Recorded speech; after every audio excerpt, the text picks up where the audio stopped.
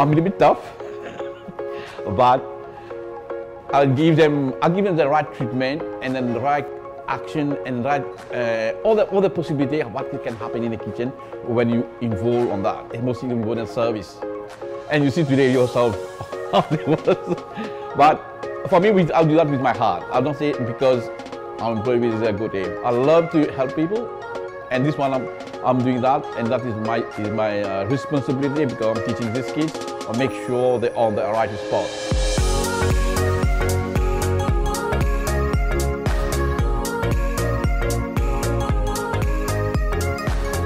You've got to have passion, you've got to have drive, you also got a willingness to learn.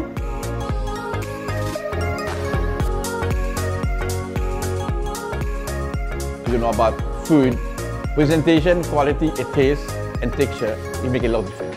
I'm very, not fun, fancy, but I love my job this way because I've been trained this way.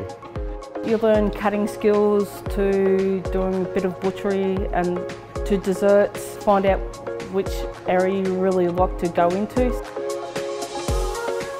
If you're willing to do it, if you love to do it, if you say, yes, chef, I'm love to do that, that I will, I'll give you all the tips, what is happening, how to do this, how to do that, and give you all the training necessary.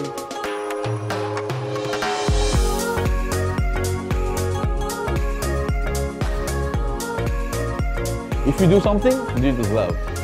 So that is all about. Yeah, that's all about.